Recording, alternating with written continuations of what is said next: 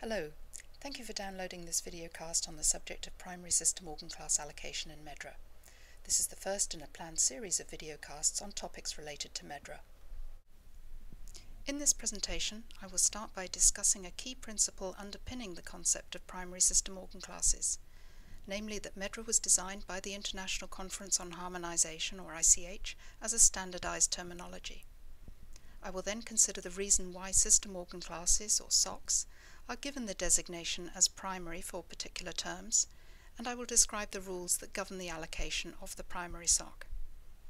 Finally, I will describe how primary SOC allocations can be changed through the AMSSO's change request process. MedDRA was developed in the mid-1990s by an expert working group of the ICH through the multidisciplinary initiative known as M1. The aim of this initiative was to create a standardized, internationally accepted terminology for regulatory activities that is both medically rigorous and actively maintained. As such a standard, MedDRA facilitates the communication, including electronic data interchange, of clinical safety information in the regulatory process.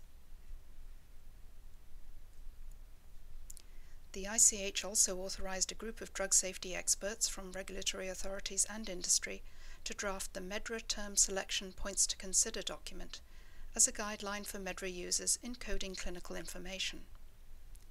This ICH endorsed document states, and here I've highlighted the last sentence in bold for emphasis, MedDRA is a standardized terminology. It is considered essential that ad hoc structural changes in MedDRA not occur. The assignment of terms across SOCs is predetermined within the terminology and should not be altered by users. Having reviewed the background behind the concept of primary SOC allocation, I will now describe what primary SOCs are and the reason for them.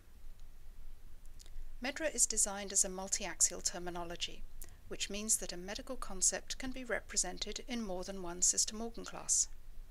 This reflects the complexity inherent in medicine itself, where diseases cannot always be forced or pigeonholed into mutually exclusive classifications.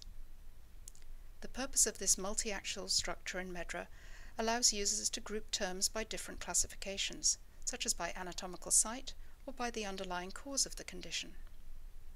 It also provides flexibility for users to retrieve and present data in different sets. One example of a multi-axial term is the preferred term dyspnea. It has a link to both SOC respiratory, thoracic and mediastinal disorders, its organ system of manifestation, and to SOC cardiac disorders because of its connection to heart disease. The respiratory SOC is designated as its primary SOC, and the term also has a secondary link to SOC cardiac disorders. Of the more than 18,000 preferred terms in MedDRA, approximately 40% of them are multi-axial, having links to more than one system organ class. Most of the links are to only two system organ classes, such as in the case of the preferred term dyspnea. However, some PTs have multiple links, and the current record holder is the preferred term CHARGE syndrome, a congenital condition which has links to eight different system organ classes. One can easily appreciate the need to bring some order to this situation. Therefore, of the multiple associations for a multi-axial PT, one is designated as primary and all the rest of the SOCs are designated secondary. Thus, when data are displayed in a standard cumulative data output, such as a table or listing, representing terms just in their primary SOC location avoids double counting. Display by primary SOC also supports consistent data presentation for reporting to regulators. For example, a regulatory reviewer would find it easier to compare safety profiles of products if companies adhered to the standard primary allocations. Now I will review the rules for primary SOC allocation. I must emphasize that the allocations are hardwired into the MedDRA ASCII files. The general rule is that preferred terms relating to diseases or signs and symptoms are assigned to their prime manifestation site system organ class. So for PT dyspnea, the primary SOC is SOC respiratory, thoracic, and mediastinal disorders. However, there are exceptions to this general rule for three types of terms. Firstly, terms for congenital and hereditary anomalies are assigned to SOC congenital, familial, and genetic disorders as the primary SOC. Terms for benign and malignant neoplasms are assigned to SOC neoplasms benign, malignant and unspecified, including cysts and polyps, as the primary SOC.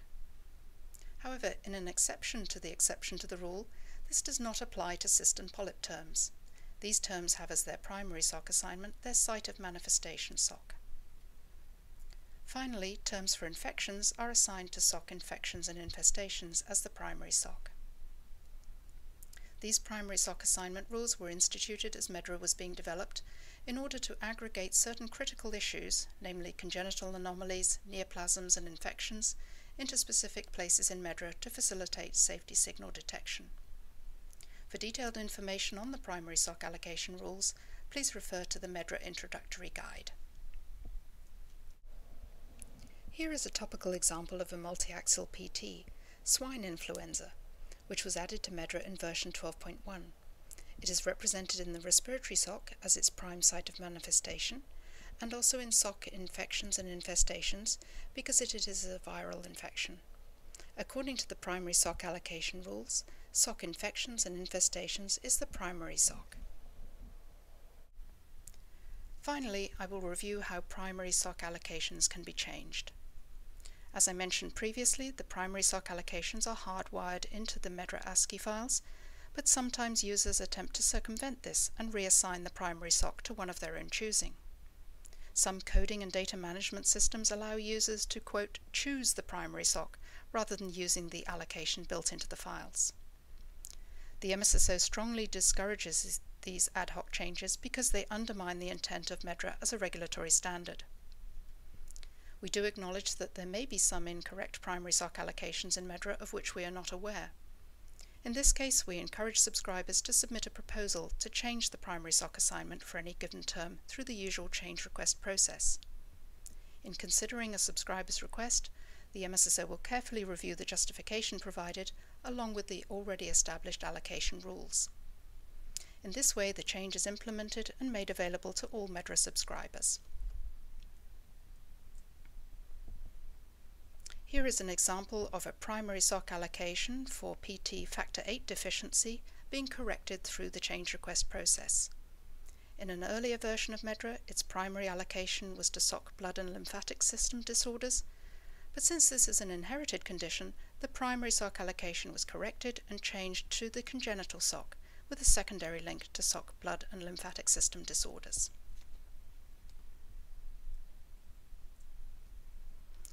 In summary, in this videocast, we have reviewed the concept of primary SOC allocation in MedDRA, the reasons for it, and the rules governing it.